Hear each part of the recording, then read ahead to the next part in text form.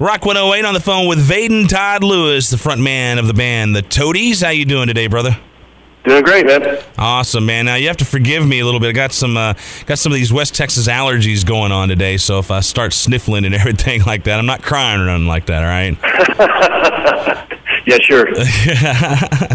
man, well, let's uh, let's just dive right on in, man. You know, uh, last year uh, about July, you had an album come out called Play Rock Music, and uh, originally uh, you guys were going to do that as an EP, but uh, decided to make it a full length. why did you guys decide to do that, man?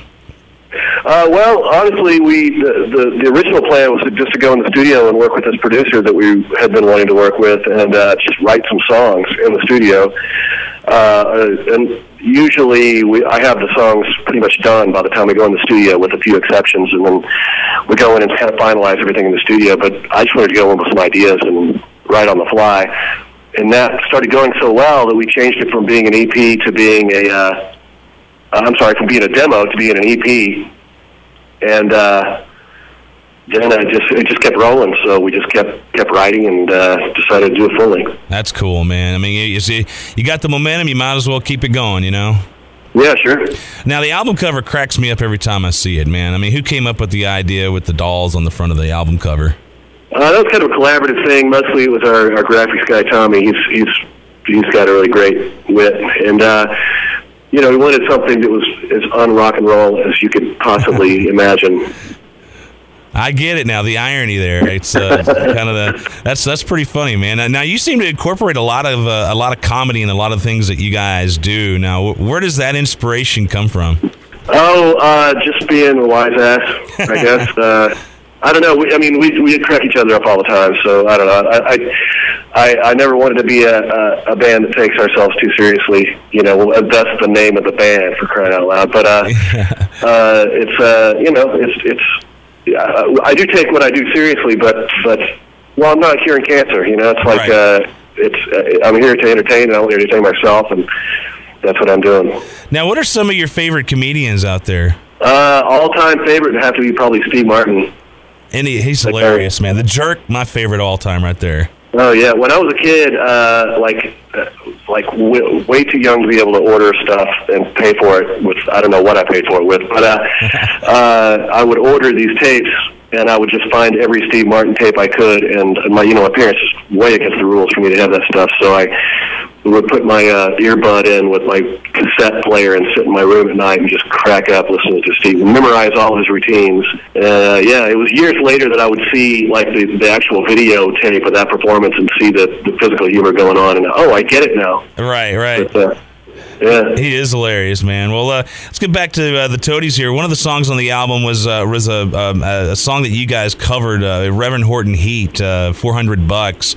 Uh, first of all, I got to tell you, man, I dig the hell out of uh, RHH, man. Saw him at Deep Ellum a few years ago and I was just totally hooked, man. But uh, what made you cover that particular song, man? Oh, we've been playing that one for years, actually. We, we just kind of busted that out. We were on tour with them forever ago and worked it up shortly thereafter. And then it, we just kind of pull it out every now and again. And uh, um, uh, I think it's, it was for iTunes. They wanted a bonus track. ITunes always wants an exclusive, you know. So uh, right.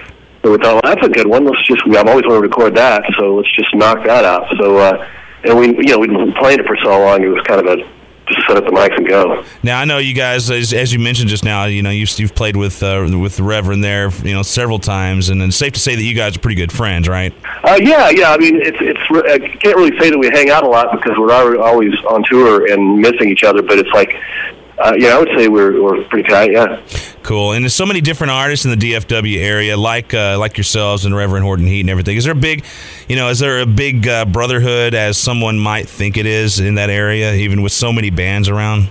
I can only really speak to for Fort Worth uh, because I've been back here for many years now. I grew up in Fort Worth and moved to Dallas for a little while and came back. But uh, uh, Fort Worth for sure has got a, a very much a brotherhood of, of bands. You know, the uh, there's a Fort Worth coalition, music coalition, that where the musicians look out for each other and make sure everybody gets, you know, doesn't get ripped off. If you get ripped off at a club, the other bands won't play there, and et cetera, et cetera. It's it's pretty uh, pretty. We got your back, and uh, there's uh, when I was a kid, you know, coming up, uh, the bands it was very cutthroat between Fort Worth and Dallas, and and even within Fort Worth, it was kind of like we got the gig, you guys show up and do your thing, get out, we're going to play. It's like Right. these days, it seems like it's it's very uh, organic. Now you premiered the video to the song uh, "Rattler's Revival," which is on the album uh, "Play Rock Music." Uh, in fact, literally a few days ago in Dallas. How did that go? Uh, went really well, and uh, the, in keeping with our never doing anything right, uh, uh, we did an alternative version of that song with horns. Uh, for, uh, Black Joe Lewis and the Honey Bears, uh, I stole their horns for uh, a version of the song, and that's the version we did for the video. And we're going to re- we released that on Record Store Day on vinyl, and we're looking at maybe releasing it uh, digitally very soon here, possibly when the video drops. Very cool. I was going to But ask. yeah, yeah, the, yeah. The video was fun, man. The, the and we did a, a rooftop, you know, video premiere at this uh, bar in, on Greenville, and I played a couple of songs on the acoustic guitar, and we watched the video, had beers, and it was it was great, great evening. Now, when is everybody else going to be able to see this actual video? Uh, you know, honestly, we're we just worked out the kinks today. Oh, yeah? Cool. I there was a couple of sync issues that that that were sneaking around, and and and it was we'd already set the uh, premiere party, and that's when we had, had the club reserved, so we went ahead and did that. But uh, uh, yeah, it should be within a week. Cool. Now, you, uh, what is the song all about? Is it what is it? You know, as as common as what somebody might think. You know, rattlers, snakes, something like that, or Uh, it's uh, it's it's pretty pretty straightforward if if you uh, you know kind of about um, realizing the hang-ups that you have as a human being, and the and, and a lot of that is uh, you know in your compassion and your caring for other people. If you could just get rid of that that baggage, how much freer would you be? You know, it is is is kind of a, just a basic caveman.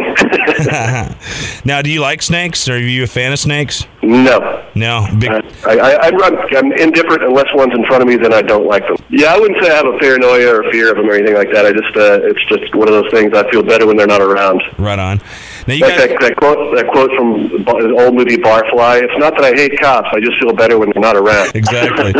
well, you guys are playing uh, Lucky Mule uh, a week from today, as a matter of fact, uh, and it is well known that you guys put uh, one hell of a show on. I mean, you guys don't uh, you guys don't ever hold anything back. What's the process of going into a show as far as picking the music and you know what you want to play, stage props, etc. Well, really, it's just the, the set list. I, I try to uh, make a set list where where I'm going to make the band happy and me happy as well as the as, as fans. Um, you know, I've been to shows before where the the band played all or mostly brand new material, and I'm like, oh, okay, I get it, I, I like it, but I really wanted to hear the, my favorite song. Right. And, and I don't want to be that band because I know, you know, I know what side my bread is buttered on, and I want to make people happy, and and I like those songs. If I hated the songs, it might be different, but uh, uh, you know, so there'll be a good uh, good dose of Rubberneck will be in there because I know that's what most people are familiar with. But uh, we'll play a good hunk of the new record and uh, and you know, kind of pepper in all the other ones too. There's just a ton of material out there, so there's a lot to choose from. It's kind of hard to narrow it down to you know, an hour and a half. And you know, the the fan part of it for me too is that. I appreciate bands that go out and play for six hours, but I, I, don't want to stand there for six hours. I just don't. You know, I don't know. I can't think of a. I don't know. I, I'm sure there is a band that I would sit, stand there for six hours and watch, you know, play for six hours. But I, I yeah, I, I like to keep it. You know, keep people wanting more, but uh, give them enough to be satisfied. If that makes any sense. Well, brother, I'd, I'd actually I'd actually sit and watch you guys play for six hours, man. Seriously, that's uh, that'd be. And we drink a lot of beer, and uh, you, you you guys uh, you got uh, the the Dia de los Toadies coming up in September. In fact, uh, you guys just released the lineup not long ago. What else is on tap for uh, the Toadies for the rest of 2013? New album, anything like that? Nothing really. Honestly, we're laying pretty low. We've got big plans for next year because it's the 20th anniversary of Rubberneck. So we're going to try to do do some big stuff next year, and it should be a really busy year. So we're kind of laying low this year so we can spend time with our families and remember what they look like when we're gone all year next year. Right. But uh, uh, you know, Dia de los Toadies is our main focus. Um, beyond uh, shooting the video, and which is done now, but. Uh, uh, that's going to be a great one. We're doing it back. We moved it to Fort Worth for the first time ever, and uh, two days of just killer music. It's going to be great. Awesome, man. Well, uh, man, I, I appreciate you calling in, taking some time with us this afternoon, man. We look forward to the show, which is happening uh, this next Friday at the Lucky Mule Saloon, and uh, always a pleasure talking to you, man. Likewise.